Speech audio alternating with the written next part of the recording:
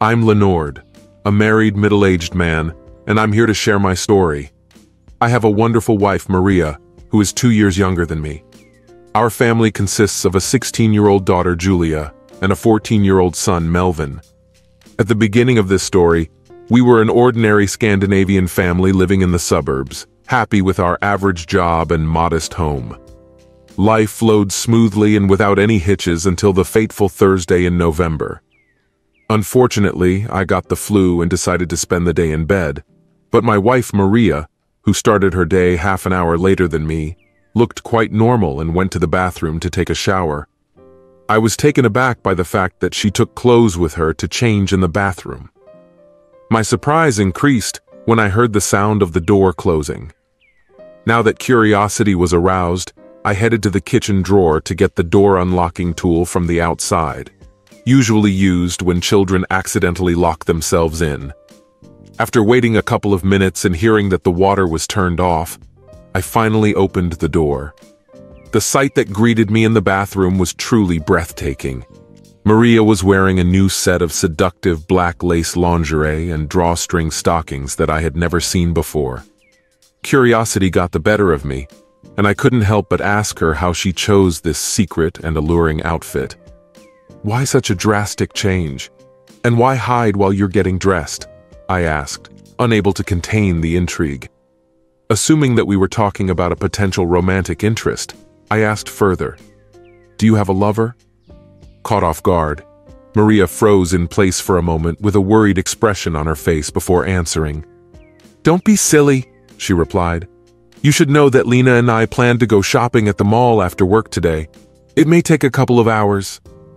Feeling unwell and having flu-like symptoms, I regretfully replied with a sharp refusal. Is it appropriate for a woman to wear a secretive and seductive outfit while shopping for clothes? Or is it more suitable for her when she sells something without wearing any clothes? These questions angered her, and she screamed, Are you accusing me of promiscuity? I'm not accusing you of anything. I just noticed that today, for some unknown reason, you're dressed like people with a dubious reputation. She kept shouting, How do you know how people with dubious reputations dress? I shouldn't have left Ronnie for you. Ronnie Skog was her ex-boyfriend, and although his business as head of the department was very successful, Maria sometimes exclaimed in anger that she regretted leaving him for me after he cheated on her. When Ronnie was fired for using the company's credit card at a number of expensive continental hotels for corrupt women during his trips to the company's international meetings, she stopped thinking about him. I noticed an unusual expression on her face when she froze for a moment, which indicated that my question had touched a deep chord in her. Intrigued, I decided to gather more information and began my investigation in our home office, where Maria diligently kept and organized all our financial documents in folders on rings. It took me a long time, but in the end, I found several clues that hinted at a hidden problem. Our joint Visa account did not contain any surprises, but after carefully examining the accounts from her personal account, I came across several unusual and disturbing details. Maria and Lena went shopping once a month, usually on a Thursday in the middle of the month. Surprisingly, none of their purchases were made on the appointed day. Instead, they did their shopping a day or even a few days before their planned hike on Thursday. But I was stunned when I discovered that one of these days, Maria stopped at a Q8 gas station located outside the city. I was puzzled why she would go shopping so far if there wasn't even a small grocery store or cafe for motorists at the gas station but only a motel. I suspected that the reason for Maria's secretive behavior was that she stayed in one of the inexpensive rooms at the gas station, which were rented to tourists, traveling salesmen, and those who were looking for a cheaper alternative to a hotel room in the city. Although I firmly believed that Maria was cheating on me once a month under the guise of shopping, I lacked concrete evidence to confirm my suspicions.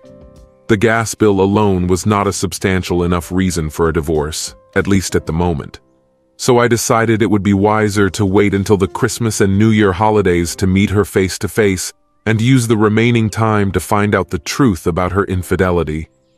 I thought it would be fun to add a little excitement to our shopping trip today. Unfortunately, the liquor store in the mall was closing at 6 p.m., so I decided to call Maria on her cell phone at 4.20 p.m. After several calls, she finally answered, asking worriedly, Has something happened? I replied, Yes, something happened. Are you still at the mall? She replied, a little embarrassed, Of course, yes. Why are you asking? I explained, I need a service from the mall. Which store are you currently in? Her tone seemed a little relieved when she replied, I'm in Victoria's Secret. Why would you want to know that? I replied, I need a bottle of whiskey to treat the flu. Obviously, it was more important for her to stay with her lover, regardless of his location or activity, than to quickly go for whiskey. When she returned home empty-handed, she simply apologized, explaining that she had been too late in the department and the alcohol boutique had already closed by the time she arrived. I expressed doubt by asking what could have taken so long at Victoria's Secret. I even asked to see the receipt as proof. At that moment, she realized that she had been caught in a lie and angrily replied, I paid for the clothes with my own money. Why on earth should I show you the check? The receipt shows the time of purchase of your damn thing, and you know perfectly well that it is needed to replace a defective thing. And you, you damn lying bitch, after my fight this morning, you just didn't want to do me this little favor. She regarded the last statement as a chance to get out of the problem, which is why she said, It's weird of you to expect any favors from me even after you called me slutty when I was getting dressed in the morning. Smiling, I asked, did your lover agree that you're damn attractive in that new black lace-up outfit? If by any chance you cheated on some despicable person, please remember that in our marriage, cheating is grounds for divorce. That remark provoked the most violent swearing I've ever experienced. I can't deny that I was struck by Maria's impressive acting skills when she pretended to be offended. Her proficiency in swearing made a lasting impression on me. There was a rather cold atmosphere in our house that evening. Although it was obvious that Maria had done something behind my back, I still needed to find out the details of what she had done, where and with whom. Her mobile phone could hold the most important information, and we both owned phones of the same model and usually charged them in the kitchen. One night, when everyone was already asleep, I secretly swapped our phones, discovering that her phone was still connected to the charger. The next morning, Maria went to work without any confrontation, leaving me in bed. Taking advantage of the opportunity, I started an investigation on her phone. Among the meager contents, I found only a single text message accompanied by a mysterious phrase, There will be a photo soon. The sender's number was unknown, since the phone book consisted solely of the records of her closest friends. I couldn't find any information on the internet about the phone number I was looking for, which allowed me to conclude that it was a prepaid phone. But my luck turned when I unexpectedly received a notification from my phone. To my surprise, it was a recently taken photo of Maria in seductive black underwear. The sender of the photo was the same as in the previous message. The enclosed text consisted of only four words. Darling, you were great. Although the sender's name was not specified, the exceptional artistic and technical quality of the image confirmed my suspicions. I knew only one person who had an amazing ability to take photographs of exceptional professionalism. This man turned out to be Oliver Erickson, the husband of Rebecca Erickson, one of Maria's closest childhood friends. Oliver gained a reputation as a talented photographer and once, drunk in a pub, boasted of an almost identical picture of his female colleague. Personally, I have never had much sympathy for him, primarily because of his tendency to brag about his achievements, considering himself superior to everyone else. I was convinced that he had similar feelings for me. It was easy to imagine how much pleasure he must have derived from silently ridiculing me every time he had an affair with Maria, who was undoubtedly more attractive than his own wife. But still, one question nagged at me. How could Maria allow herself to be seduced by such an arrogant and self-satisfied man? With Christmas and New Year's Eve only a month and a half away, I decided to sustain my marriage throughout the holiday season and maintain an inconspicuous presence. This did not mean that Oliver would be able to avoid the consequences. Retribution will surely befall him. Once again, my afternoon was filled with a flurry of business. What I saw made an indelible impression on me. She looked incredibly young and alluring. Oliver, that nasty guy, undoubtedly captured her beauty on his camera. I was even more annoyed by the pleased expression on Maria's face, which suggested that the photo was taken after their intimacy. My next task was more difficult. It took a lot of phone calls to arrange for Oliver's retaliation, which was scheduled for Monday. Being familiar with different people in my hometown, I knew that I could rely on them to achieve the desired result. I was completely convinced that the rather high price was quite justified. But when Maria returned home from her job with my mobile phone, she was far from thrilled. Her displeasure only increased when I screamed and accused her of taking it. I deleted the photo from her phone, which probably led to confusion when Oliver asked her about it. I kept quiet and hoped that they would decide that something had gone wrong when he sent the photo. The first part of my revenge unfolded the following Monday, when Rebecca, Oliver, and their children went about their business. A huge amount of manure, about three tons, was taken out by a tractor with a cart and dumped on the lawn in front of Erickson's house. Due to the sub-zero temperature, an unbearable stench quickly permeated the surroundings. The presence of signs advertising the sale of manure only aggravated the discontent of the neighbors. It is not difficult to imagine how an angry Oliver turned to the police which led to a heated argument when the authorities did not consider a pile of free manure to be a malicious crime requiring urgent attention from all their forces. During breakfast on Wednesday, I came across a funny sight in our local morning newspaper. In a prominent place was a photo of Oliver standing proudly next to a sign advertising the sale of manure. As expected, he grumbled at the police, who only asked him to fill out a form regarding his problems and assured him that they would be dealt with in a timely manner. I couldn't help but burst out laughing, which made Maria wonder about the source of my amusement. I couldn't resist telling him that Oliver, a rather unpleasant person, had found his calling in the manure trade. It is safe to say that he has found his niche. Maria snatched the newspaper out of my hands and I couldn't help but laugh. But to my surprise, she didn't share my amusement.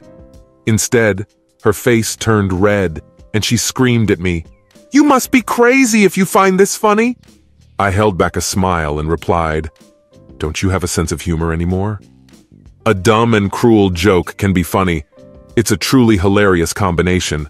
Rebecca is one of my closest friends. How dare you, despicable man, laugh at her sincere difficulties? Now I was shouting back. Am I to blame for Rebecca's unfortunate decision to marry the stupid and worthless Oliver Erickson? Is it my fault? Perhaps she is deeply jealous that you are married to a real man. But Maria's reaction at the table, or lack thereof, indicated that she might not agree with my feelings. I had the feeling that my wife's love for me had diminished, if it existed at all. In addition, Maria fell ill with the flu, which completely eliminated any thoughts of intimacy with Oliver for the next two weeks. I decided to use my free time by carefully examining her car for any evidence of her affair with Oliver. Unfortunately, my efforts have not yielded any results. Deciding to get to the bottom of the truth, I purchased an ultra-modern mini voice recorder and installed it in her car unnoticed. But while she was recovering, none of us made any attempts at intimacy. In fact, Maria and I haven't had any intimate contact since the weekend leading up to her infamous November shopping trip. Now that the time for her December shopping trip with Lena was approaching, I couldn't help but recall my previous accusations of her questionable behavior. I hoped that this time she would be smart enough to refuse to meet Oliver.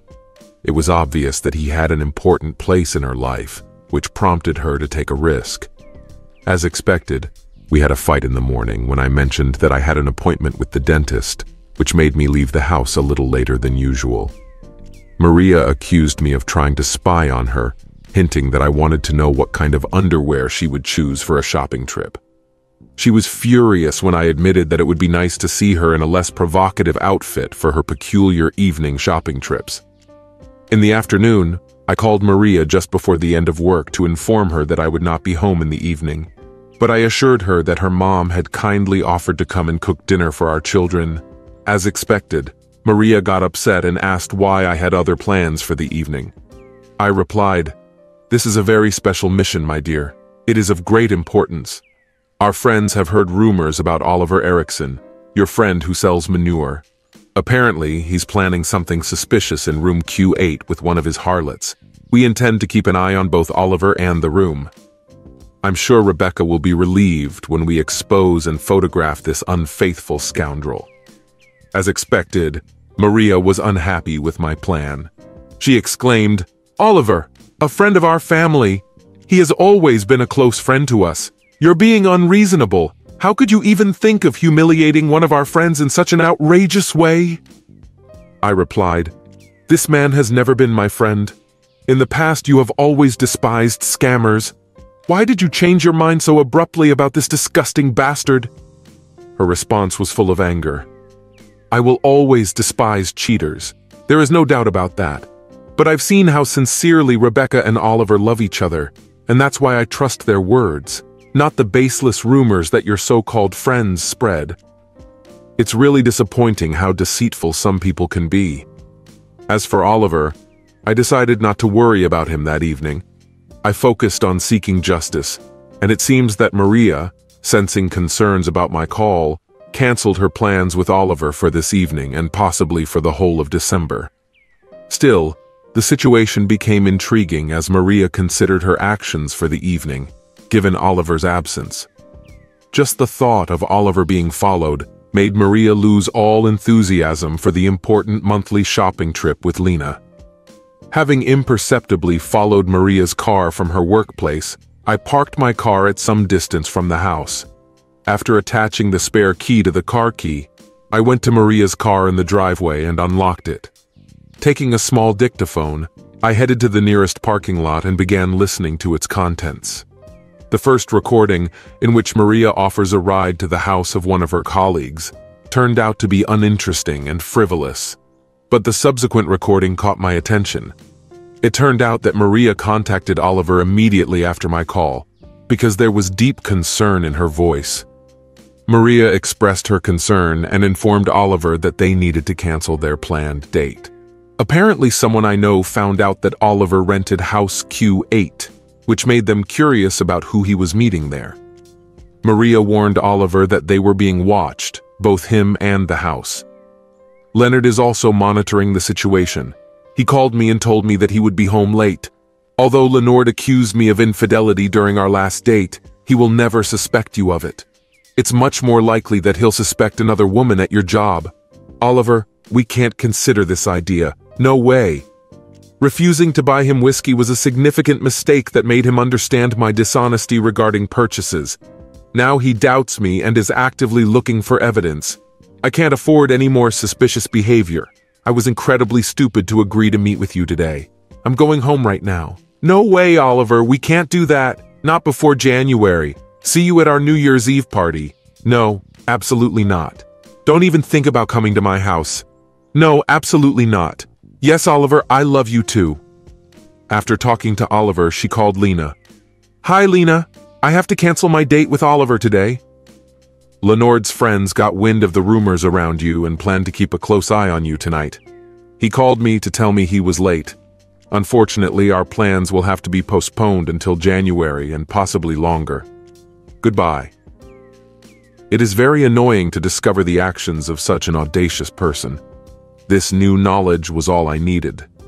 So far, I've just suspected Oliver and even punished him without having concrete evidence. But now, having received confirmation, I have all the necessary evidence. My next step will be to finally resolve this issue. Arriving home an hour later, I went up to Maria and asked if she was already at home. It seemed strange to me that he and Lena managed to finish shopping at the mall so quickly, just before Christmas. In response, Maria suggested that it would be ideal if we went together on Saturday in search of Christmas gifts. She also mentioned that I returned early from a moral mission and suggested that Oliver, the unfaithful scoundrel, most likely cancelled their date. It looks like someone warned him. Maria accused me of intervening to protect Rebecca from the scandal, which infuriated her. In a fit of anger, she categorically stated that I should never even think about involving her in my insidious plans. Upon further examination of the accounts stored in Maria's folders, it turned out that her deceptive shopping had lasted since November last year, with the exception of July, when we had a summer vacation. Surprisingly, Maria managed to deceive me at least 12 times, and now it became obvious that their November meeting was a significant milestone for them. This revelation shed light on Mary's extraordinarily attractive outfit that day. Interestingly, my investigation revealed that she made no effort to dress provocatively for their cancelled December date. Consequently, this single cancellation did not benefit her. After learning that Maria cheated on me 12 times, I realized that this is far beyond what any reasonable husband can bear. The love I once felt for her instantly evaporated. Deciding to teach Lena a lesson, I made a plan for the next morning. I sent her husband a postcard with a picture of the best hotel in the city, accompanied by a false message claiming that his wife was having an affair within its walls. Although it was fiction, I knew that such a message would surely ruin their marriage.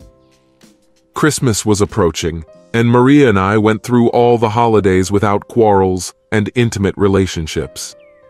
Watching her behavior, I realized that she was not particularly pleased with my choice of gifts since they were noticeably cheaper than those that I usually gave her. In the end, it was time for the New Year's Eve party that Maria and I were hosting. We spent a lot of effort to put our house in order, and temporarily put the furniture in the garage to make room for dancing. In addition, I personally built an improvised bar and bought drinks. Upon the arrival of the guests, I took over the management of the bar and cordially welcomed them with delicious drinks selected specifically for each gender. Rebecca and Oliver arrived and got their drinks, as did everyone else. For Oliver, however, there was a slight difference. His drink included an additional ingredient that I had so hard to get. To my great satisfaction, everything perfectly matched my intentions. As expected, Oliver had a few drinks before the party and did not refuse any offers during the meal. The combination of fizz with other alcoholic beverages gradually led him to fatigue. Maria offered him a little break in our spare bedroom, and even Rebecca agreed that this was a reasonable offer. Rebecca and I helped him get to bed and gently laid him down. Later, when I had the opportunity to slip quietly into the spare bedroom, I found Oliver sleeping peacefully on the bed. Despite the fact that I am not a beer lover, I drank several bottles and my bladder was already at its limit. So, when I relieved myself imperceptibly, I did it as if Oliver had done it himself. I made sure that no one saw me enter or leave the spare room. After some time, I asked Rebecca how Oliver was feeling. As soon as she said she wasn't following him, we went to the spare room together. The acrid smell of urine wafted to us as soon as we opened the door, causing Rebecca to scream in despair. Hurriedly returning to my packing, I loudly informed Maria that Oliver had indeed wet himself and wet the bed. My exclamation attracted the attention of our guests, and several of them began to investigate the commotion caused by Oliver's actions. Undoubtedly, this scandal will haunt Oliver for a long time. Maria initially insisted that I take responsibility for Oliver and help him get home. But my direct response, expressing a refusal to even approach this anxious person, was able to calm her down. Fortunately, one of our more balanced comrades volunteered to show compassion, and, with the help of Rebecca and Maria, escorted Oliver, who was now wrapped in a blanket, to his place of residence. The others continued to celebrate, rejoicing that we had a new source of entertainment. It's no secret that Oliver was disliked in our male company, so his presence caused a lot of laughter, to everyone's surprise. Rebecca and Maria returned to the party hand in hand. The night went on, and everyone raised their glasses to drink champagne for the new year. To Rebecca's horror, all the couples around them were kissing passionately. except for her and Maria. Feeling a wave of humiliation, she couldn't resist asking me, Why didn't you kiss me? I replied calmly, Why should I? We're married, aren't we? That's not enough reason to kiss you. The intensity of our argument attracted the attention of others, and they began to eavesdrop. Maria replied with a pained expression on her face. If you really love me, then the first thing you should do in the new year is kiss me. Her face turned pale and ashen when she heard my unexpected answer. We have other urgent matters that require our attention. Maria quickly hurried into the kitchen to prepare a late-night cocktail, and the guests who overheard our conversations stared at me, waiting for an explanation. But I decided not to give them and quietly left in search of Lena. I took her to a quiet corner and asked her why she and Maria had missed their monthly shopping night in December. Lena put on an unusual look and replied, Don't ask me, ask Maria. It's just that she called me and told me that she canceled the evening. I nodded in agreement, confirming her words. I wonder if you and Maria went shopping together these evenings? I noticed that no purchases were made with credit cards these days. It seems that she does all the shopping either one or several days before these evenings. I'm interested in this because Maria always said that you go shopping together. It's amazing that you don't seem to know anything about it. I'm sorry if this question upsets you but maybe it's better to ask Maria directly about her shopping habits. And then Lena's husband joined our conversation, who questioned her actions during those staged shopping episodes. He asked her directly if she had had an illicit relationship with someone at the hotel. There is no doubt that my postcard from the hotel caused tension in their family, as Lena began to cry. I want to make it clear that I never accompanied Maria anywhere. My role was only to provide her with an alibi. Whatever actions she has committed, the responsibility for them lies solely with her, not with me. Lena's husband had drunk a lot that evening, and it was clear from his mood that he did not intend to tolerate his wife's deception and excuses. He fixed his gaze on her and said, It's time you started telling me the truth. What the hell were you and Maria doing during those evenings? Sensing that the charade was coming to an end, Lena plucked up the courage and answered. Maria was dating her lover, and I used to go shopping.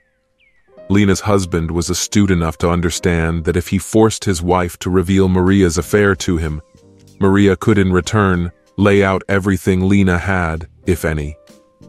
She turned to her husband tears streaming down her face as he asked again about the man involved in this affair.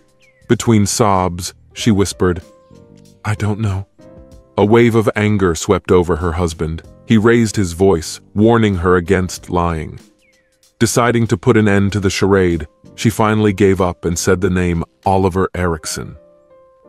Pretending to be surprised, I couldn't help but exclaim in disappointment condemning him as a disgusting clown with a terrible lack of taste.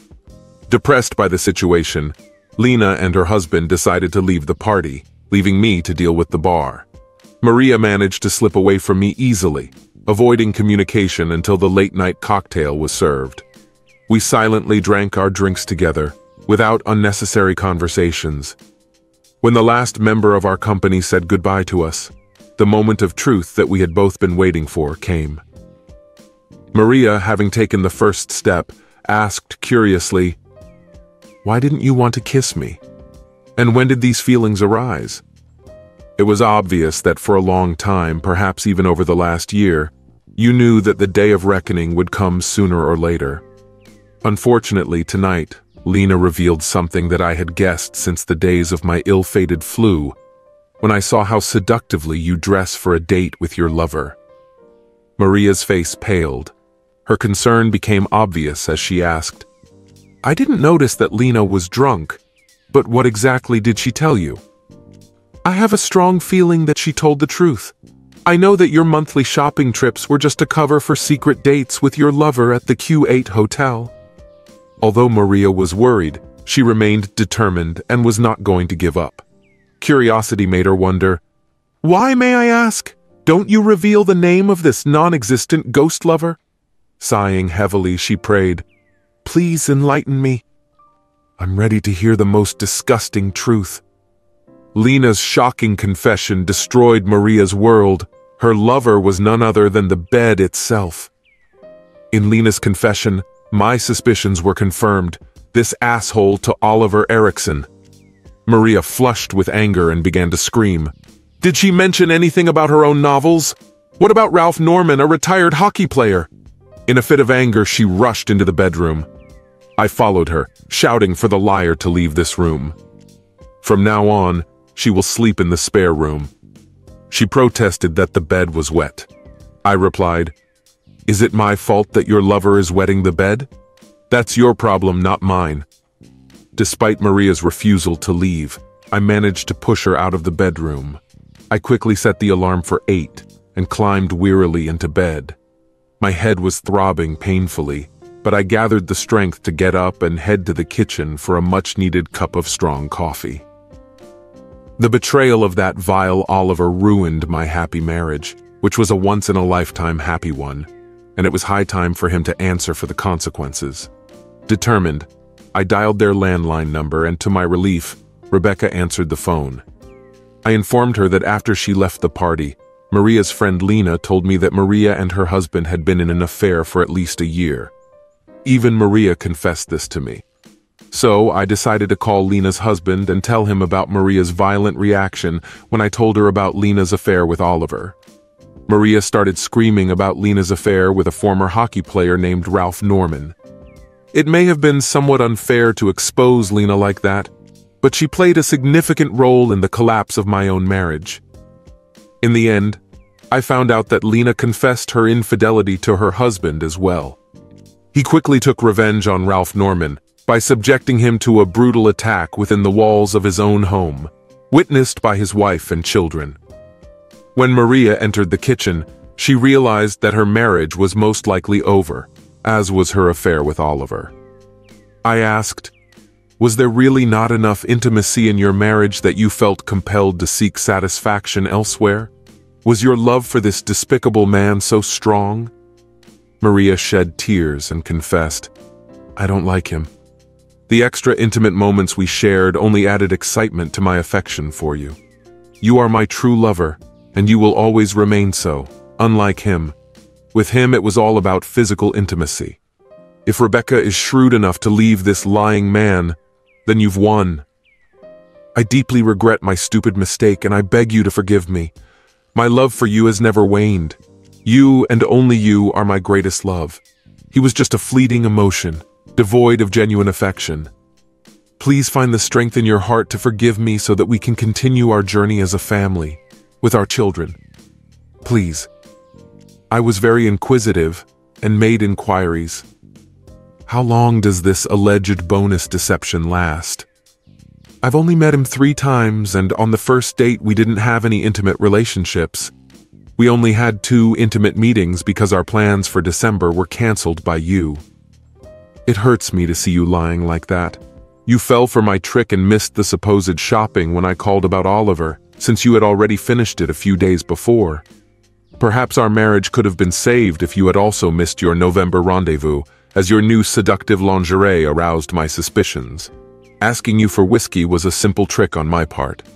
I mistakenly assumed that for you, Celebrating an anniversary is more important than preserving our marriage. To dispel my doubts, I studied your credit card statements for the past year, especially noting all the purchases made during your monthly shopping trips with Lena. Surprisingly, the only expenditure that was recorded was the cost of gasoline at the Q8 gas station, located outside the city. This discovery makes me doubt the validity of your claim that you had only two intimate encounters. To be honest, I'm sure that between November and November you had a physical relationship with him at least 12 times. One case of deception is no longer acceptable to me. The exact number doesn't really matter, but it would be interesting to understand when, how, and why the cheating started. Maria fell silent, and tears welled up in her eyes as she rushed into the spare bedroom. She confessed her infidelity and I didn't have to disclose the phone records or the photos Oliver sent her. Maria thought it would be better if I got most of the information from Lena at our party. Both Rebecca and Lena called Maria on New Year's Eve. It was obvious that these calls put an end to the long-standing friendship between Maria and her two closest friends. Although it was I who revealed the shameful secret of my unfaithful wife, I had only one way out, to become the object of ridicule. Without hesitation, I filed for divorce as soon as the court reopened after the New Year holidays. Maria has never revealed the true motives of her infidelity, nor when it began. The following year, after our New Year's Eve party, turned out to be incredibly difficult for me.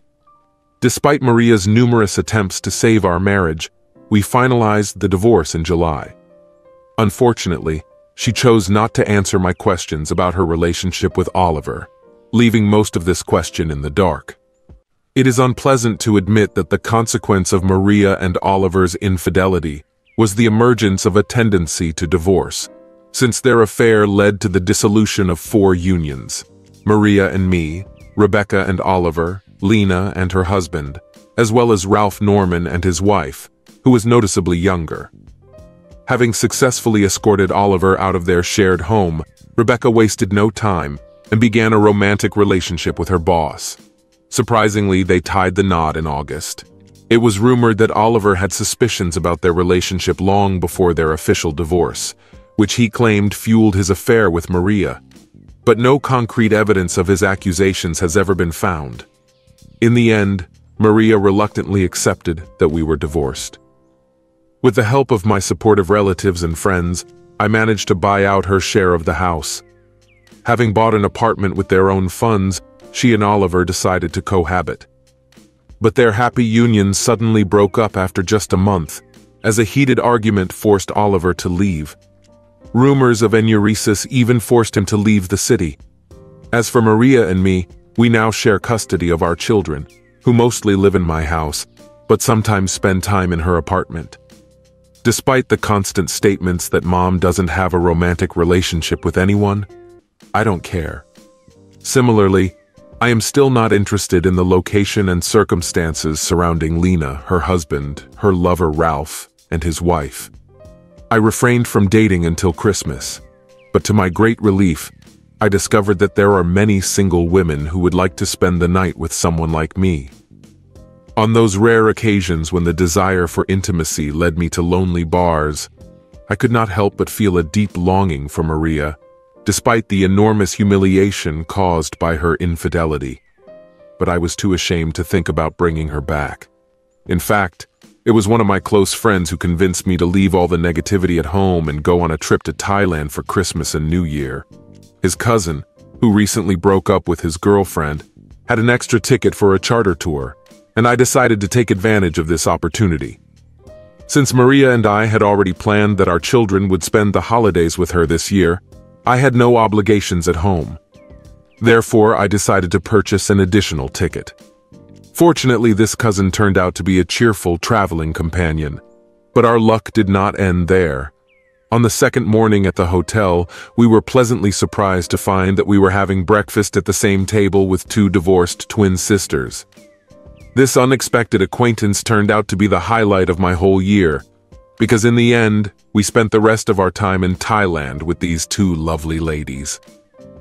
Despite the fact that my companion Monica was 12 years older than me, she was an attractive woman with a slender figure. I was incredibly pleased to discover that she has exceptional pleasure-giving skills that surpass anyone I've come across in my entire life. She had the amazing ability to wake me up multiple times during the night, leaving me completely satisfied. When I returned home, I found that I longed for the amazing, intimate experience that I shared with Monica, more than I ever longed for meetings with Maria. But then a problem arose. It turned out to be quite difficult for me to find a job in the French-speaking region of Belgium, where Monica opened her accounting business. Similarly, Monica faced limitations when looking for a similar career in my country. As a result, the only way out for us was to plan trips to Belgium for the weekend to be together. But it looks like my future visits to Monica may be permanently cancelled. When I returned from my trip, I found that a new neighbor had moved into the house adjacent to mine. This new neighbor turned out to be a strikingly attractive, recently divorced female lawyer who was several years younger than me. To my pleasant surprise, she also had a daughter named Joanna, who turned out to be the same age as my own daughter. Given the close bond that has formed between the girls in such a short time, I decided it would be wise to invite Joanna's mother, Madeline, for a cup of coffee. She was a beautiful and calm woman, and I volunteered to help her with various household chores, which led to pleasant coffee breaks after each job. I couldn't help but think about her often, but I decided to act carefully, taking small steps to see if she reciprocated my feelings or just saw me as a handyman. It soon became clear that she had fabricated some of her problems just to spend time with me over a cup of coffee. Madeline must have been her ex-husband's respected wife and probably didn't stay single for long after the divorce. Shy guys often find it difficult to attract beautiful women, and unfortunately, I fell into this category. One Friday, I plucked up the courage and called a stunning woman and invited her to dinner that evening. But she politely declined saying that she was not up to it that day. But she offered to arrange dinner another time, offering to have lunch at a new Greek takeaway restaurant at her house, including our children. Although it was clear that she was not interested in a romantic date, I agreed. Surprisingly, the dinner turned out to be quite pleasant, reminiscent of a cozy family meeting. For me, this was an important step in establishing a deeper connection with my attractive neighbor. After our teenage children left us after dinner, Madeline and I drank a bottle of wine, and, sitting comfortably on the couch, started talking about our previous divorces and aspirations for the future. Madeline made the bold decision to leave her ex-husband after she was physically assaulted twice, after witnessing similar unpleasant incidents caused by abusive men in her workplace. With a determined look, she met my eyes and delicately asked if I had ever resorted to cruelty with my ex-wife. Honesty prevailed, and I told her that in my entire life, I had never raised my hand against any woman, even in response to Maria's infidelity. I told Madeline about the consequences my ex faced because of her infidelity, which eventually led to four divorces, the loss of her home, husband, lover, and two close friends. This unpleasant situation also led to her being labeled a promiscuous woman, which attracted unwanted attention from unwanted people who tried to start a romantic relationship with her. Subsequently, Madeline asked me about my recent trip to Thailand and whether I had committed any annoying acts that required correction. Although I understood her hint, I pretended to be ignorant and asked for clarification, saying, I'm sorry, but I didn't quite understand your question. Could you clarify what you mean? Obviously, I had a specific intention when she replied, Don't play dumb. I wanted to find out the truth about the man who invited me to dinner. It is important for me to know if you entered into a paid intimate relationship during your trip to Thailand. I want to clarify that I have not been involved in such activities, but I admit that at that time I was dating a divorced woman from Belgium.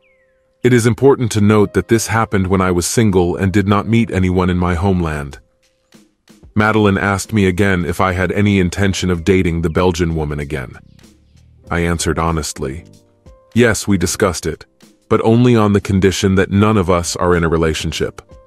She greeted me with a radiant smile and asked, Are you seeing anyone?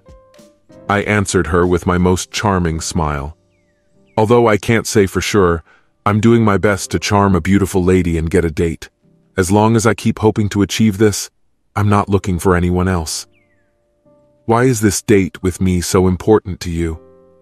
Keep in mind that after one date, it is difficult to look forward to any grandiose evening, because it can be either the beginning of a blissful dream or a harbinger of its heartbreaking end. She spoke with all seriousness, expressing confidence that, despite her initial optimism, Difficulties were ahead of her. After a short pause, she spoke about the turmoil she is going through now in connection with the divorce. She spoke about her desire to find a life partner who would love and accept her, emphasizing the importance of honesty and loyalty.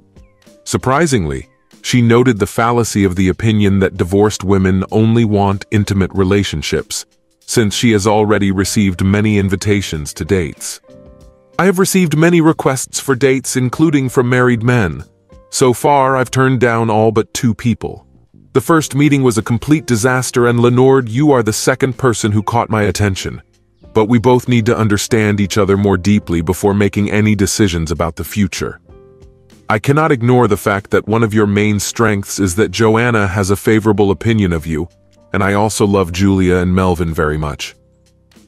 Maybe we should agree that honesty and dedication to each other will be a priority at this initial stage and make every effort to deepen our understanding before making any commitments regarding our future. I readily, and without hesitation, accepted this offer. Sacrificing a pleasant weekend in Belgium was a small price to pay for the opportunity to establish a genuine connection with Madeline, even if it meant postponing any intimacy until she felt more familiar with me. If you compare Madeline with Monica, then it is unlikely that the physical aspect of our relationship will be equally pleasant. I personally knew several people who were able to create a harmonious family by combining the remnants of two broken families. If Madeline and I sincerely wish the same, shouldn't we make an effort to fix the situation? After a while, the children said that their mother had entered into a new relationship with a mature man who had a bald spot, and for this reason the children did not want to visit Maria, since her new man was not pleasant to them. But this relationship did not last even a year, as he caught Maria cheating. Apparently my ex-wife does not calm down in life. Her nature requires thrills and new intimate experiences. It's been eight months since our beloved son Jonathan went to school leaving Marie and me to explore the uncharted territory of an empty family at the age of about 40. We are proud of his achievement, receiving a scholarship to the University of Oxford. Having become empty nests, we found ourselves in a situation where we needed to rediscover our relationship and start a new chapter of life that did not revolve around our children. Naturally, I assumed that our intimate life would immediately revive and return to the frequency and pleasure that we once shared. But the reality turned out to be different in those first two months. Marie felt a little depressed when her baby started on his own path. At the same time, she was overwhelmed by the realization that she was approaching her 46th birthday with several new wrinkles on her face and a few extra pounds. Personally, I think that all this only adds to her beauty, but Marie seemed to think that life was slipping away from her and that the days of joy and adventure were in the past. After doing a little research, I found that this is common. To support Marie, I tried to provide her with positive feedback, shower her with compliments, and give her the necessary time to adapt to the changes in her family. It took several months, but eventually, Marie found her footing again. When Friday evening came, she returned home from work, overwhelmed with happiness and enthusiasm, reminding me of my wife of more than 20 years ago. Beaming with smiles, she radiated new energy, as if she had been reborn. We spent the whole weekend together, enjoying the intimacy we missed so much while we dutifully carried out our countless duties. Even before I had time to undress, Marie eagerly knelt down, fervently removing my trousers and underwear. This unexpected act was a revelation to me because Marie had never been particularly fond of such caresses, but that night she gladly accepted them, creating an incredibly pleasant feeling. Then she gently led me to the bed. This meeting left me at a loss. I doubted the identity of this mysterious woman. Despite my confusion, I felt a surge of anticipation and desire, feeling a strong desire again. The intensity of her discharge testified to the pent-up excitement that had been building up for years. Every aspect of this experience was new and exciting. Fired up by my own desire, I wasted no time, immediately took matters into my own hands, and for the next five minutes passionately indulged in an intense session. We indulged in passionate intimacy, culminating in a mind-blowing intimacy that left us both in a state of complete bliss, collapsing into each other's arms. Throughout the weekend, we enjoyed each other, surpassing all the previous heights that our intimate relationship had reached. When I woke up the next morning, I found Marie snuggled up to me and couldn't help but smile. Good morning, my beauty, I greeted her, still in awe of the incredible night we spent together. I couldn't help but express my desire for this enchanting night to continue. Whatever affected you last night, I hope it doesn't end. I love you, baby, I confessed. In response, Marie stroked me passionately, rekindling our desire, and we indulged in lovemaking again before heading downstairs for breakfast. After a long time, I finally felt a revival in our intimate life, which gave me hope for the next chapter of our life together. But I didn't know then that it wasn't my efforts, but a colleague from her job that caused her to have a new desire. Within six weeks, this man from her job began to take a special interest in Marie, showering her with compliments and playful flirtation which revived her youth and strengthened her self-confidence. Although this had a positive effect on our intimate moments, in the following months it also brought unexpected problems. And yet, after three months, our lives seemed to be on a positive track. From a financial point of view, we had a stable and pleasant job. Jonathan was doing well at school, and our intimate relationship has reached new heights in the last three months. Although the source of her heightened passion remained a mystery to me, I treasured every moment. Every day brought delightful meetings, pleasant nights, and enjoyment of her. It was absolute bliss, and I found solace in the fact that she returned my love, and I fulfilled all her desires. I felt like a confident lover, able to provide a high level of intimate satisfaction. Friday night has always been a cherished dating routine for us. Like clockwork, after a long day at work, we went to the cinema early and then had dinner at a restaurant. Back home, we lovingly entwined in each other's arms, indulging in passionate moments until sleep carried us away. This sacred tradition served as a means of preserving a vibrant life outside our humble home. We both enjoyed these special evenings, trying to recall the essence of the days of our youth and indulging in nostalgia. It is noteworthy that our intimate meetings exceeded the frequency of meetings with peers, and I tirelessly tried to maintain a spark of delight. But on this particular Friday night, she expressed a desire to prolong our afternoon fun with a drink. When she coquettishly squeezed my leg, her gaze, accompanied by a mischievous smile, was filled with the promise of something exciting. She mentioned a new club called The Hideaway, which was recommended to her by colleagues. It was conveniently located just 10 minutes away. Live jazz music was played in the club, creating a lively and exciting atmosphere. We decided to visit him and started the evening with a few drinks at the bar. Marie's affectionate nature seemed to have intensified, charming me even more. Her bright energy sparked desire in me, and I was looking forward to what would happen next. And at that moment, her hand was on my chest, gently stroking my pounding heart through the fabric of my trousers. Smiling tenderly, she kissed me gently on the lips, caressing me sensually, bringing me closer to the brink of bliss. But she mischievously switched her attention, playfully nibbling on my earlobe and whispering seductive words in my ear without ceasing to tease me. The desire to take her right here and now, in the middle of a noisy bar, seized me. But alas, our public display of passion abruptly stopped when the band stopped playing, forcing us to restrain our desires. While I was savoring the last sips of my third martini, the band took a break, creating a short pause in the lively atmosphere. It was at this moment that a man I didn't know came up to our table. In a deep baritone voice, he called loudly, breaking the atmosphere of the noisy bar.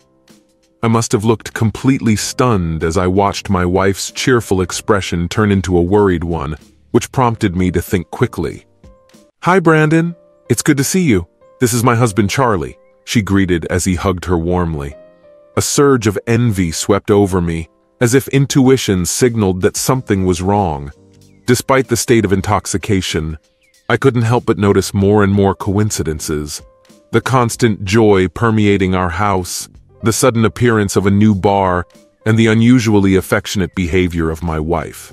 In an unexpected place, she accidentally crossed paths with a man in the very bar that her friend recommended. Although there was no evidence or cause for concern, I couldn't help but feel a sense of wariness. This man, Brandon, looked to be about 40 years old, had a striking appearance and a deep, velvety voice reminiscent of Barry White. One can only imagine the effect his alluring voice had on others. Despite my initial doubts, Brandon turned out to be friendly and engaging, making conversation without difficulty. When we had another drink, my nerves began to calm down, allowing me to accept the possibility that his presence was just a coincidence. After spending a pleasant 20 minutes in our company, the jazz band resumed their melodic tunes. Everything seemed to be going smoothly until he asked if I would mind if he accompanied my wife to the dance. Without waiting for my answer, she quickly got up from her seat and answered, Of course he doesn't mind, does he, dear? Leading him towards the dance floor, she left me behind, leaving me stunned. A flash of anger swept through me when I realized that this situation had been deliberately set up. Despite the temptation to leave her there and go home, I decided to stay and observe the development of events. As I watched, my irritation grew with every passing moment, especially when I noticed Brandon hugging my wife too closely. The way she leaned her head on his shoulder, wrapping her arms around his neck, haunted me. His words whispered in her ear only increased my anxiety. Alarm bells instantly rang in my head, confirming my intuition that something was wrong. Despite the obvious troubles, they returned, dispassionately pretending that everything was fine. To my amazement, Brandon smoothly moved on to a new conversation, as if dancing with my wife was a regular thing, he showered my wife with compliments and expressed gratitude for her invaluable help at work. When he asked about my interests and hobbies, Marie hurriedly intervened and answered on my behalf, leaving me confused. Charlie has a huge passion for football, especially as a dedicated Manchester United fan. He never misses a single game on TV. Charlie, is this information reliable? Moreover, considering that the playoff game is taking place tomorrow, can we assume that you have already arranged to watch it? Indeed, my dear friend Jake and I are devoted fans who never lose sight of a single game. We have already planned to gather at the local pub where we are going to celebrate Manchester City's victory over Liverpool. Well, Charlie, fortune has finally smiled on you today. You see, I recently purchased two tickets to the long-awaited game. Surprisingly, these tickets were generously donated to me by one of my suppliers. But since I am not an avid football fan, I intended to give them to someone else. He took out an envelope and handed me two tickets labeled Tier 1 Centerfield. Amazing places that were known to be unattainable, and yet they were here. Instantly I realized the gravity of the situation. He looked like a snake from the Garden of Eden, holding out an apple to Eve and coaxing her to take a bite. Trying to keep calm, I modestly remarked, Wow, these places are incredible. You should definitely go and enjoy the game. This is not really my topic, my dear friend. I do not intend to use them, so I will be glad if you accept them and enjoy the game. As a friend of Marie, I would be very grateful if you would accept them. And at that moment, anger flared up in me. I was well aware of the situation I was in, but I still reluctantly took the tickets. If he had addressed me as friend one more time, I would have felt my restraint go away. Calming down, I replied, Thank you, Brandon. That's extraordinarily generous of you. Marie and I will definitely have a good time at the game. Anticipating my wife's reaction, I already knew what would happen next. Horrified, she said, Oh, my love, I despise going to these games. You should have gone with Jake. Both of you will undoubtedly have a better time than me. Don't worry about me. I have a lot to do. Therefore, it is decided. You're going with Jake tomorrow. At that moment, I wasn't sure about the extent of their relationship. I couldn't tell if she was having an affair with him or if she was considering the idea of opening our marriage. Anyway, it was obvious that she wanted him, and she was putting me on the back burner. It seems that she underestimated my determination and insight, as I decided to observe the development of the situation. I lacked concrete evidence other than my intuition, observations on the dance floor, and an unmistakable arrangement at the bar tonight. I decided to let the situation develop naturally and adapt my plans accordingly. Despite the tempting offers of playoff tickets or money, I stood my ground and refused to share my wife. If she wanted to involve someone else in her life, she had the right to do so. But I would not participate in this game. It was clear to me that Brandon had certain qualities. He exuded sophistication, had a good appearance and a captivating voice. Undoubtedly, he seemed to be a charismatic and accomplished man. As for what could captivate any woman over 40, the problem arose when the woman he was trying to charm turned out to be married and not subject to the ban. Brandon was one of those who took pleasure in stalking married women, enjoying turning their husbands into unsuspecting victims. This vicious game fueled his ego, giving him a sense of power and providing the benefits of casual intimacy. I have long understood his true nature, the embodiment of pure malice. Marie, inspired by the drinks and the time spent with Brandon, did not notice my silence after we left the bar. When we got home, she was incredibly excited, but I was still angry and pretended that I had a headache, blaming it on excessive alcohol consumption. I pretended to be asleep, but I could feel her lying next to me, giving myself pleasure. Although I wasn't completely naive, Jake and I still attended the playoff match. Before leaving the house, I installed two voice-activated voice recorders in strategically important places, which I had purchased earlier that day. In addition, I activated the Find Me app on her phone while she was in the shower, knowing that they both know about my absence. I assumed that they would have the opportunity to spend time together or discuss the events of the previous night at the bar. But to my surprise, she did not leave the house while I was at the game, and the devices that I discreetly installed did not produce any noteworthy recordings. Despite this, my suspicions did not disappear, and I continued to keep a vigilant eye on upcoming events. When I returned home after the game, I found Marie elegantly dressed and prepared a delicious dinner for me. After exchanging a passionate kiss and warm hugs, she led me into the kitchen. How was the game, my love? Did our team win? I replied, Yes, of course. Manchester has won. Baby, I can only imagine how glad you are that you watched the game from these incredible places. Brandon's gesture was very kind, and the places are really amazing. Marie seemed completely satisfied and did not stop smiling all evening.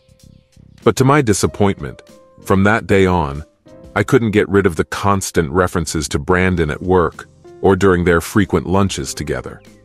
Everyone seemed to be constantly talking about how successful he was, about his beautiful cottage on the lake, about his incredible travels and what a really good guy he was. My patience has run out. But one evening she returned home completely delighted and overwhelmed with happiness. She hugged me tightly and kissed me on the cheek. It was a pleasant surprise. I couldn't help but wonder what was the reason for such an affectionate greeting. To my surprise, she started talking about the opera La Traviata, which she had endlessly discussed in the past. I asked the reason for their sudden interest. She said that a performance of La Traviata will take place at the Royal Opera House on Friday. I expressed my dislike for the opera, believing that they would understand my reluctance to go to it. But she insisted on going herself, assuring me that I didn't have to accompany her. This news made me happy, because earlier she mentioned that she had lunch with Brandon. He informed me that he had recently purchased excellent opera tickets. They were provided to him by another supplier, just like the ones he previously gave you for a football playoff game. After learning about my long-standing desire to visit this particular opera, he kindly offered me tickets. Unfortunately, he was disappointed when I mentioned your strong aversion to opera, as a result of which you refused to accompany me. Then he came up with a brilliant plan, offering to fulfill my dream, to watch the opera and treat me to a delicious dinner afterwards. Isn't that sweet of him, my dear? Such a generous gesture. I replied with a touch of sarcasm, noting that she predictably declined his offer. I understand perfectly well that you don't want to go, and that's not a problem at all. But would it bother you if I went with Brandon? The reason I see this as a big problem is that it goes against my wife's expectations to go on a date with another man, regardless of whether I'm here or not. I have to admit I'm very surprised that you agreed to a date at all. I knew from the very beginning that this was planned. I'm sorry I didn't take this as a date. I sincerely regard Brandon as our friend. He generously provided you with amazing playoff tickets, and we had a great time. He even paid for all our drinks, and he was a useful colleague and friend to me. I'm sure you understand why I appreciate him. With a smile on my face, I made the decision to let events unfold and see where they lead us. Yes, he did all this and really seems like a good person, but I have to admit that I'm not comfortable with my wife spending time with another man. I'd rather you didn't go out and get involved in anything risky. But at the end of the day, you're an adult, independent woman, capable of making your own choices. Anyway, you know about my wishes. I felt that she understood my anger and discontent. Well, my love, you don't need to worry. I understand the situation. I didn't want to upset you, and I'll fix it right now. I'm sorry if I hurt your feelings. As for me, I'm fine emotionally, but I'm worried about my wife. She came up to me and kissed me gently on the forehead. Please calm down. I adore you. Besides, it wasn't a romantic outing. So please stop being jealous and let's drop the subject. We did postpone it, but I haven't forgotten. Later that evening, when she wanted intimacy, I informed her that I had a headache. After our conversation, I felt incredibly angry and offended. Although I couldn't say for sure if she had an intimate relationship with him, it was clear that she had unknowingly started an affair with him. I knew that if I didn't step in, it could lead to serious trouble. If she had already entered into an intimate relationship with him, I knew that our relationship would come to an end. The situation with Brandon was becoming more and more problematic, and I expressed my growing jealousy of him. I asked her to stop seeing him at lunch, but she resisted and pushed away my request. But you're being stupid, and I won't stop being his friend. If this means having periodic dinners together, then you need to be more understanding. Naturally, I was angry, but I needed to find a way to solve this problem without putting my marriage under even more strain.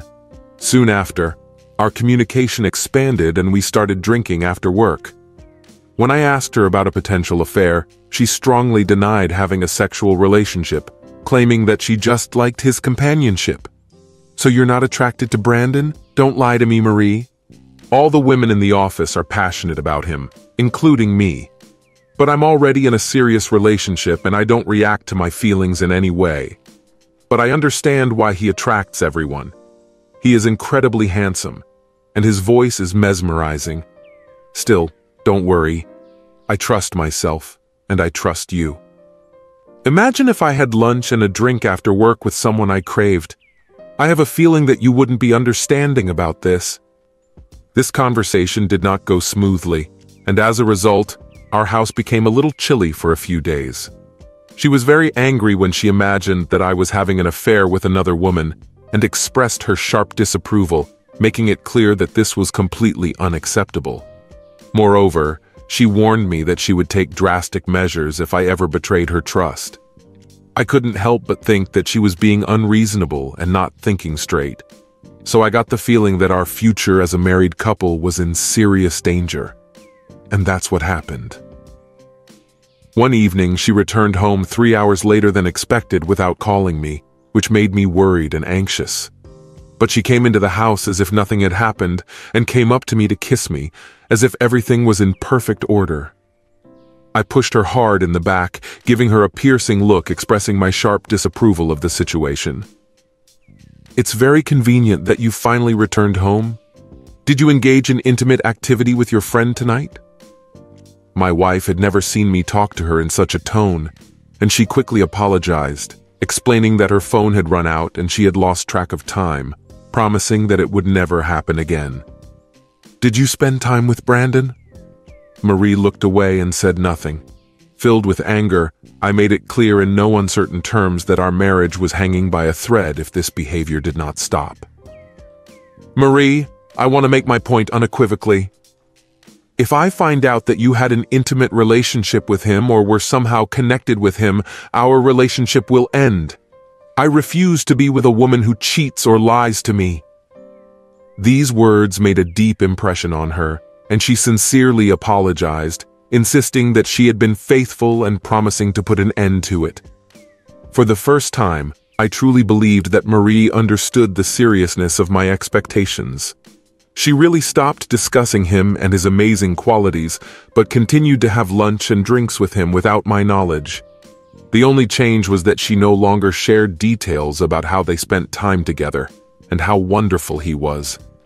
Two weeks have passed since that incident, and when we sat down to dinner, I plucked up the courage and turned to her. I asked her bluntly if she had really stopped eating and drinking with Brandon. Her response was far from what I expected. Reaching out tenderly, she put her hand on my shoulder and smiled reassuringly, as if I were a naive child in need of comfort. In a sympathetic tone, she admitted that she was still dating him. Stunned, I tried to make sense of her confession, unable to hide my anger and resentment, but it was her next words that swept through me, causing my mind to spiral.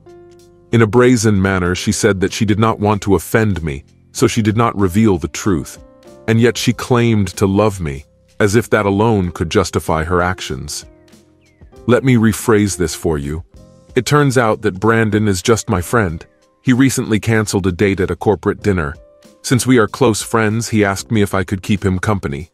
Assuming you wouldn't mind, I agreed but I was taken aback and firmly said that I did not agree with this idea. So no, you can't go with him. Marie, please remember that you are still my wife, at least for now. Charlie, please stop being so jealous and possessive. Brandon is our friend, and he just needs my help.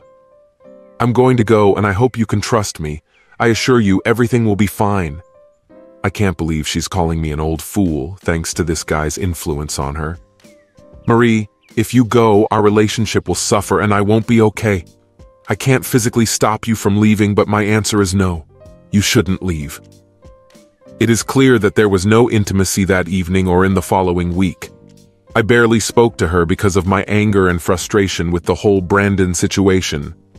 She seemed to understand the situation and stopped pestering me with questions about Brandon and the upcoming date.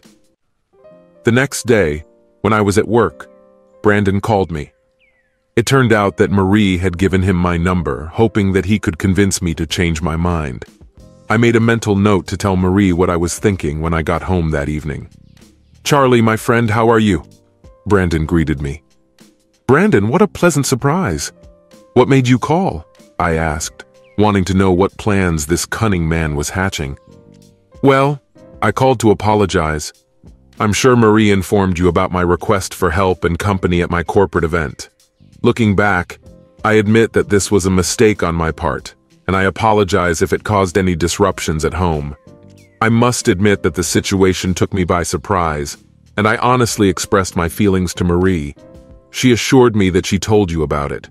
Looking back, I realized that I should have approached you directly and asked for your permission, and not implicated Marie in this case. It would be more appropriate for us to discuss this face to face. I was speechless at this man's audacity. The mesmerizing tone of his voice seemed otherworldly, amplifying my anger. Well, sir, let me make amends and offer you whatever you want. If that's what you want, I can get season tickets to Manchester. Brandon, are you suggesting that I exchange my wife for a simple set of football tickets? Are you implying that I should belittle the value of my wife to exchange friendly communication for material values? Is that how you perceive everything? Listen, I think you misunderstood me. I don't share my wife with anyone, and if you dare to call me an old man again, you'll regret it. I promise that the next time we cross paths, I will express my dissatisfaction in a more appropriate way. I am quite capable of buying my own tickets, so let's leave this question. Of course, I urge you to stop bothering Marie and look for a companion elsewhere. My disappointment was evident in my voice as I delivered my message. He seemed to completely ignore my words and continued his conversation. My friend Charlie, I apologize if my feelings upset you because I really care about Marie and wanted to ask your permission for her to accompany me to my event, hoping for your blessing. I ask you to refrain from directing your anger at Marie. I take full responsibility for her desire to attend this event. Therefore, could you reconsider your decision and allow her to accompany me on such an occasion? Brandon, I urge you to listen carefully. No, please stop your persistent questioning. It is quite clear that she will not accompany you. Moreover, I would appreciate it if you would stop having lunch with her and meeting for drinks after work. These actions are starting to negatively affect our marriage, and I think you can understand my feelings. Charlie, I'm sorry if you feel that way, but please understand that we're just friends. I don't intend to end our friendship just because you have certain doubts. I'm sorry that you don't want to do this one favor for me. Despite all the things I've done for you, like giving you those incredible football tickets and offering you a season ticket, you don't seem to appreciate my generosity. I'm upset and angry at you. I have already expressed my gratitude for the tickets, and as I said before, I am able to buy my own football tickets. Now please leave me alone and stop interfering in my marriage. Annoyed, I slammed the phone shut. In the evening, I returned home and found Marie in a very depressed state. When she found out about our discussion, she didn't know how to react. In the end, the prolonged silence became unbearable for her. I was informed about your recent communication with Brandon. Was it necessary to be so rude? You have deeply hurt his emotions. The look she got from me, accompanied by her question about my alleged rudeness, could have frozen our once vibrant pond even in the height of summer. To hell with you and to hell with his feelings. It's intriguing that you put his emotions above those of your spouse. Besides, why did you give him my work phone number? Are you so desperate to be with him? Maybe I should just leave. You can spend time with your new boyfriend, I suggested. I was hoping that you two would form a stronger friendship. You know, so you can spend time together. I apologize for the way things turned out. I didn't want anyone to get hurt. Are you upset? Honey, I don't want to have anything to do with him, and I told him bluntly to stop these dinners and drinks with you. Let's not forget that you are a married woman. It is very important to behave appropriately, otherwise the situation may escalate, I assure you. These words ignited her anger, prompting her to speak out. Please stop acting like an insecure teenager. We've been married for two decades now, and you have no reason to feel threatened. I sincerely hope you're right, because the thought that I've spent the last 20 years of my life on the wrong person terrifies me. When I said that remark, it seemed to have an effect on her, and I desperately wished that she would regain her sanity. But we were silent for the rest of the evening, and our intimacy continued to suffer. In fact, my anger at her actions and words became so intense that I found solace in going to sleep in our son's room in search of solitude. Marie, realizing her mistake, was upset about my decision to move out, and over the next few weeks tried to make amends. She admitted that she had stopped lunch dates with Brandon and was trying to be more affectionate with her husband. Gradually, I began to sleep in our bed again, but I still did not dare to enter into an intimate relationship with a woman who clearly had feelings for another man. Unhappy with this, she persistently tried to arouse desire in me. Deep down, I felt that she was still infatuated with Brandon, and my instincts made me stay vigilant if I wanted to save our marriage. Unfortunately, while looking through my wife's text messages on her mobile phone, I came across the date of Brandon's upcoming event. It's worth noting that none of us had passwords on our phones. I had never spied on her before, so I had no reason to be secretive. But when I read her plans, a wave of sadness washed over me from the realization that our relationship was about to change. The information I discovered also made it easier for me to make my own plans. I wasn't surprised when I realized that her recent affectionate behavior was just an attempt to win me back and distract my attention from the Brandon situation. I realized that my cunning wife intended to reveal a secret to me. She was really going to go to an event with Brandon on the upcoming Thursday evening. This revelation sparked an idea in my head, and I was curious if she would really go for it. Despite the fact that I explicitly forbade her to be with him, I found myself in a dilemma. To solve it, I announced at breakfast the next morning that I had an important meeting in London on the 22nd, which would keep me away until the end of the next day. Considering that Brandon's event was also scheduled for the 22nd, I deliberately put her in front of a choice. She could either trick me into attending the event without my knowledge, or she could honestly tell me about her plans. In any case, I have already decided that I will not stay any longer. If she confessed and attended the party, it would force me to move out and start divorce proceedings. On the other hand, if she had done this without informing me, it would have meant the final end of our marriage. Unfortunately, she chose to remain silent and hide her plans from me. Despite this, she maintained the facade of a loving and impeccable wife, giving me delicious dinners every evening, keeping the house in immaculate condition, and greeting me with affectionate kisses on my return from work. But she never once brought up the topic of Brandon and the upcoming event. On Thursday morning, I said goodbye to her, knowing full well that this would be our last goodbye, and went to my office. She didn't know that I wasn't going to travel to London. Instead, I intended to spend the night at the hotel where the event was to take place. I consulted with a lawyer to arrange the necessary documents for the divorce and set a date for the delivery of the papers. In order for the process to go smoothly, I even offered a higher fee for the services, asked them to be present at the hotel where the event was taking place. I wanted them to deliver the papers as soon as I approved them, which would mean the final end of our relationship. Under the cover of a medical mask, tinted glasses, and a baseball cap, I quietly settled down in the lobby of the hotel, watching the front doors and enthusiastically reading the newspaper. As expected, my future ex-wife appeared on the doorstep.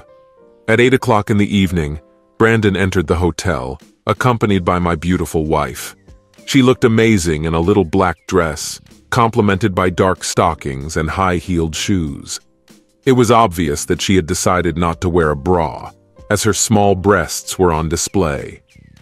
As they exchanged cheerful greetings with others, their laughter filled the air, giving the impression of a loving couple. Although I had expected their presence, such an open observation of their intimate relationship took me by surprise.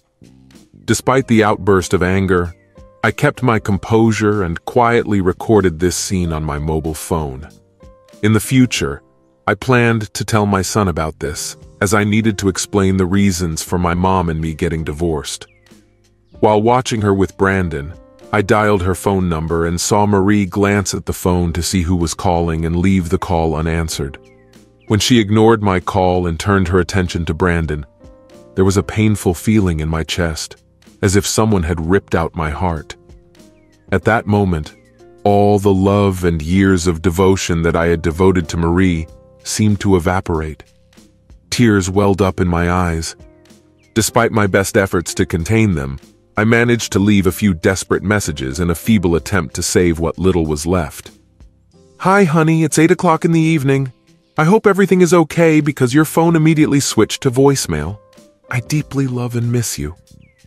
I was hoping that she would hear these messages, feel guilty, and leave the party before things got out of hand.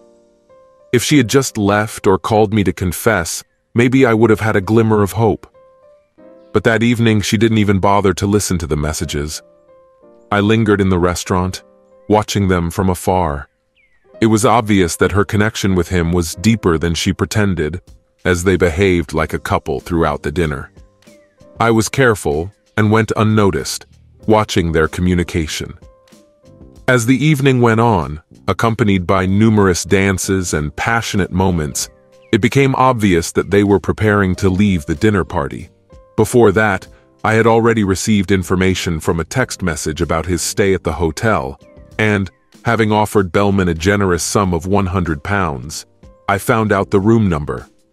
Kim, the bailiff, arrived as planned at 10 p.m. and we discussed my actions.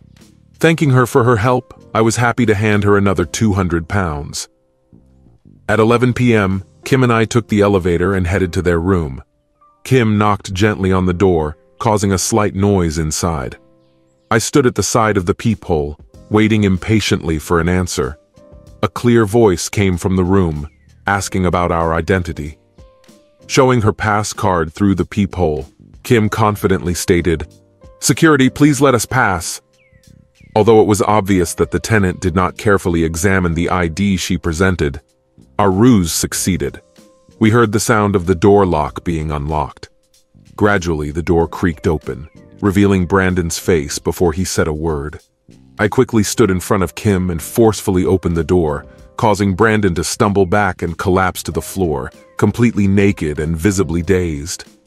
A woman's sigh came from the room at the sight of his fall, which turned into a piercing scream when she realized that it was me standing in front of her. It was shocking that liquid was flowing down her legs, indicating recent intimate activity. While Brandon remained on the floor, naked and vulnerable, I resolutely put my foot on his neck, bringing down the full force of my 200-pound weight on his throat. I warned him not to make any sudden movements. Giving a signal to Kim, she went over to Marie and handed her the divorce papers. Kim informed Marie that she had been handed the documents and discreetly photographed her, completely naked, clutching an envelope. Shock showed on her face when I took off my wedding ring and threw it on a wet spot on the bed. Seeing my torment, Marie finally realized the devastating consequences of her decisions. Suddenly, she felt longing for me, not for her lover. Unfortunately, it was too little and too late. Charlie, I'm sorry, I made a serious mistake. I desperately want to keep you in my life, and I understand that the situation seems terrible, but I want you to know that I still love you deeply and am determined to save our marriage. Please let me come home with you so that I can explain everything and try to make things right again. I beg you not to make this decision. Watching her, I couldn't help but shake my head in disbelief. It struck me for the first time how much older and physically no more powerful she looked. When she stood there naked with Brandon's marks on her body, I felt disgusted. After I saw all this, all my affection for her completely disappeared. All the love and trust I felt for you turned into a deep sense of resentment and disgust. Our marriage had reached the breaking point, which was symbolized by the last scene that unfolded in front of me. I stood towering over Brandon, my foot pressed against his neck, and ordered Kim to leave us alone. When the door closed, I looked at my wife and addressed her in a voice full of despair and rage. It is with a heavy heart that I congratulate you for ruining our two decades of life together.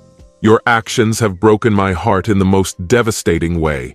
You decided to deceive and betray me, which resulted in intimacy with this despicable man. Our time together has come to an end, Please sign the divorce papers and refrain from returning home until Saturday afternoon. It will take me a day to pick up my things from home. You can stay in our house until it's sold, which I don't think will take long. In the meantime, maybe you'll find a place with this man, I said, removing the boot from his throat and firmly pressing it to the vulnerable groin area. To ensure a reliable connection, I delivered one last hard kick with my heel, confirming my success. I heard the agonizing screams of a man in unbearable pain as I reluctantly left the room after saying goodbye to my wife for the last time. Brandon, the victim of a horrific incident, tragically lost both testicles in an accident. Despite his desire to press charges, I made it clear to Marie that if she testified in his favor, I would expose her infidelity in front of her family by releasing incriminating photos I had. Faced with such an ultimatum, she made the difficult decision to tell the police that she could not identify the person responsible for Brandon's injuries. As a result, Brandon felt furious and betrayed by the woman who had once betrayed me. Despite her persistent attempts to contact me for two months, I resolutely refused to communicate with her. Marie reluctantly agreed to sign the divorce papers, admitting that the marriage could not be saved. In the end, she plucked up the courage and told the whole story to our son, taking responsibility for the death of our once happy years together. We sold the house, divided the property, and went our separate ways. Brandon, feeling hurt and detached, showed no interest in maintaining a relationship with Marie as a new single woman. He bluntly stated his disinterest, urging her to move on and find someone new. Being a divorced woman at the age of 46 was not easy in the dating world. When I discovered that thanks to the manipulation tactics of one lying person, I gained an extra 20 pounds and began to look less attractive than I had previously thought. But after spending six months working out at the gym, I successfully lost weight, gained a toned figure, and met a charming 37-year-old divorced woman named Patricia, who had an adorable nine-year-old daughter named Melissa. Patricia had an impressive physique and cherished a devoted and affectionate partner very much, treating me with the greatest adoration. In addition, I have established an amazing bond with Melissa, enjoying the opportunity to pamper her with affection and care. When we attended Jonathan's graduation ceremony at the age of 50, Marie's appearance reflected her years. She was lonely, deprived of communication, and unhappy with the way her life had turned out. Jonathan told me about her deep distress when he saw me with my new family. The sight of my blissful existence with my charming wife and beautiful daughter made her feel sad and envious. Marie confided in our son, expressing remorse for her past actions and how badly she treated me. Remorse lingered, and she tried to forgive herself for succumbing to the temptation of that unkind man. When she confessed to Jonathan, she said that my lack of love had brought her to a deep realization. She realized how valuable what she once possessed was, and how much she longed for her old life. The immense pain and sense of loss she experienced were a direct consequence of her own selfish desires. I hope that this lying cheater will spend the rest of her years alone, regretting her actions. As soon as Lisa crossed the threshold of the house, I was overwhelmed by a wave of confidence. It became clear that my wife had betrayed our vows. Despite her claims that she was working late, there was an undeniable feeling that her actions went far beyond her professional responsibilities. What led me to this conclusion? Intuition played a big role, as well as the unequivocal expression on her face and her anxious behavior upon arriving home that fateful evening. Lisa's inability to hide her emotions was like playing poker for amateurs.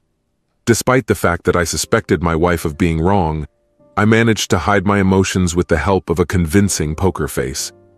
But instead of facing her directly, I went down an inconspicuous path and hired a private investigator. At the age of 27, Lisa and I had been together for five years, since our senior year of college. Throughout our relationship, I have believed that we share the same values, in particular an unwavering commitment to loyalty. Before the marriage, I made it clear in no uncertain terms that infidelity would be an absolute mistake for me.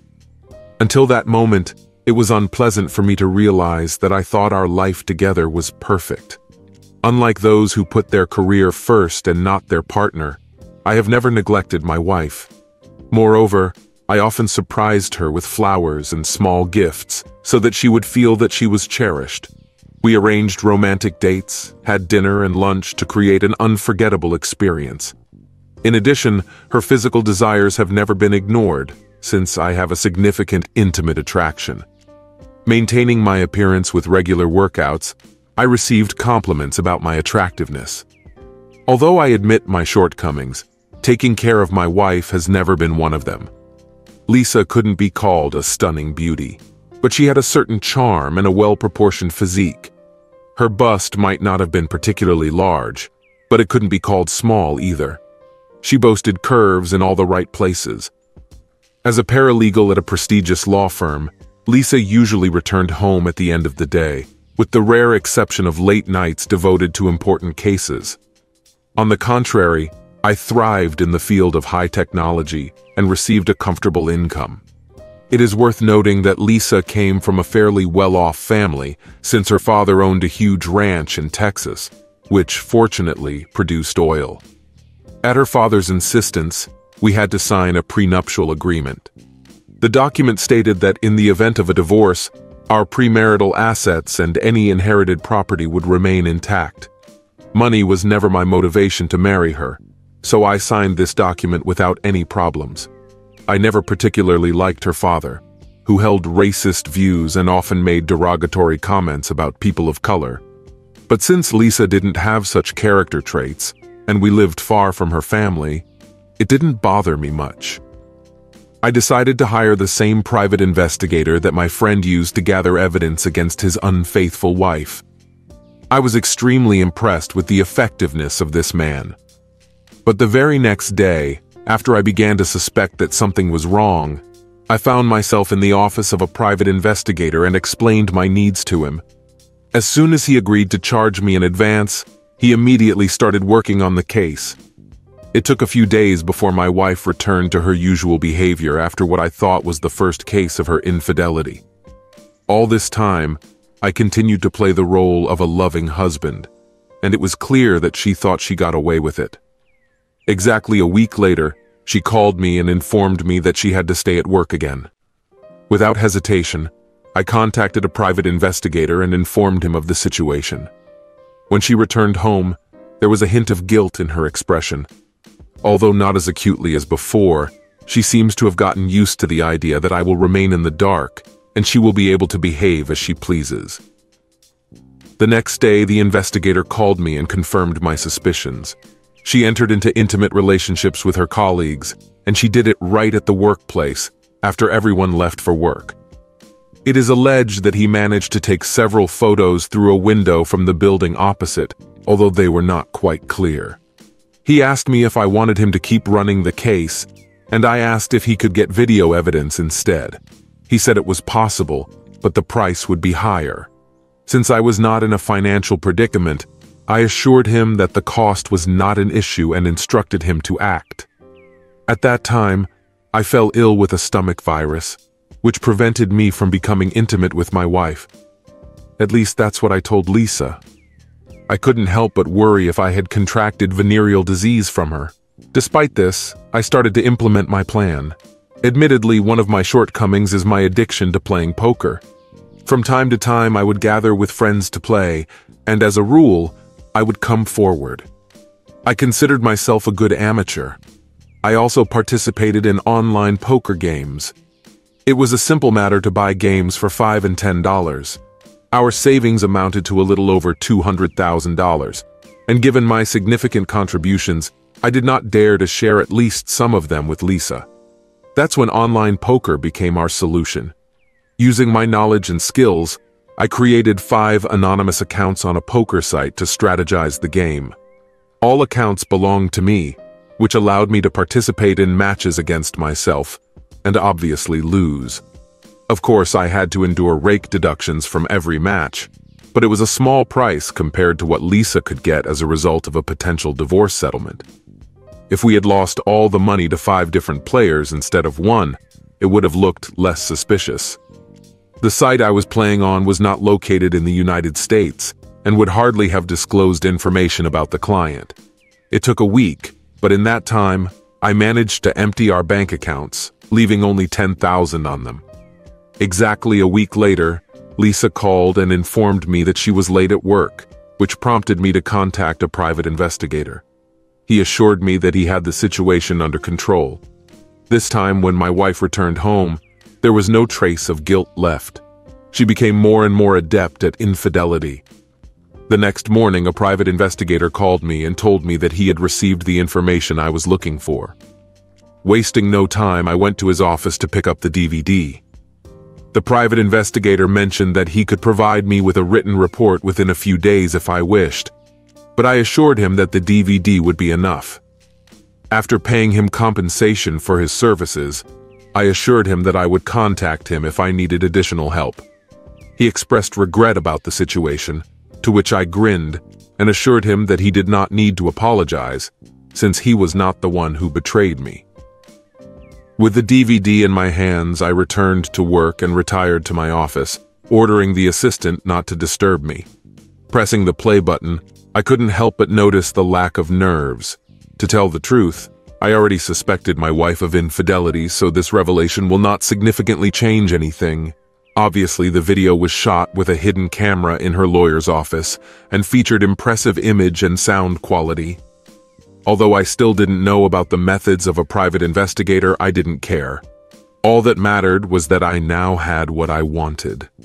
Although I had never personally met the man my wife was involved with, a private investigator provided me with a lot of information about him, including his marital status and two children.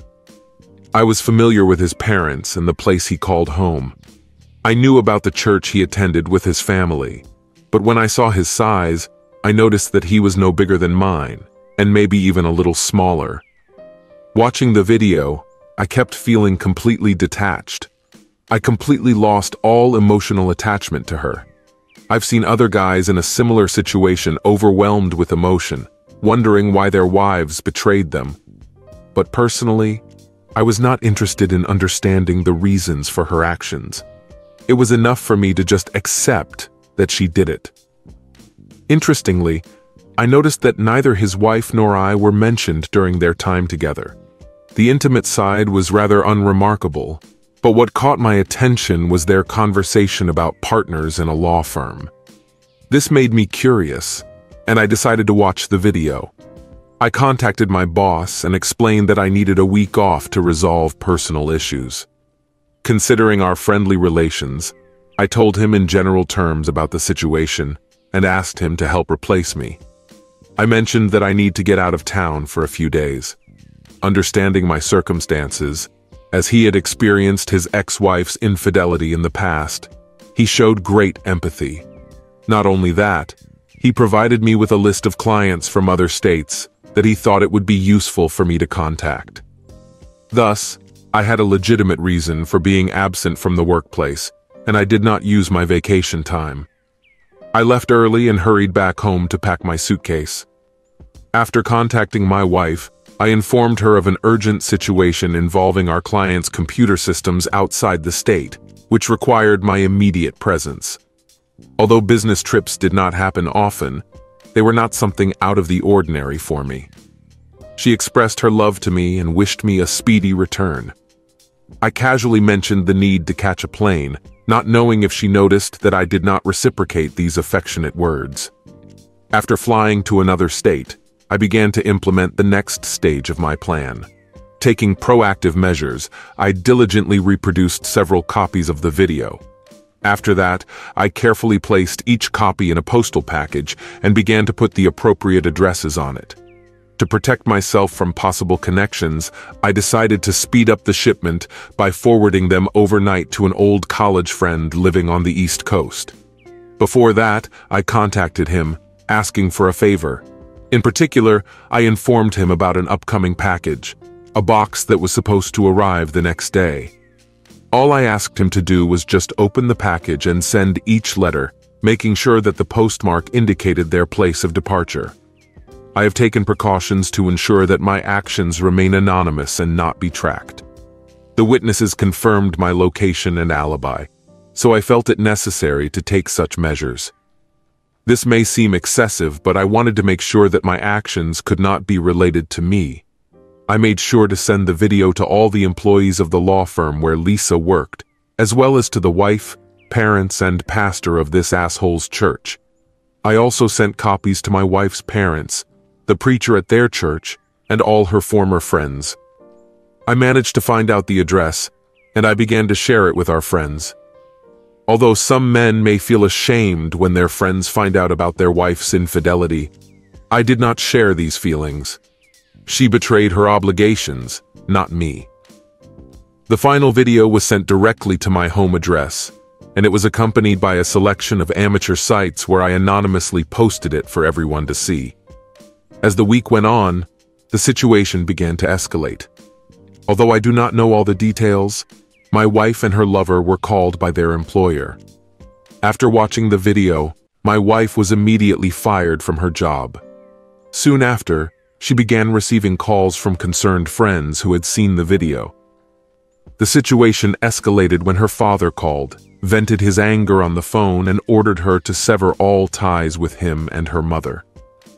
On Friday, several of our friends unexpectedly called me and asked if I knew about the video.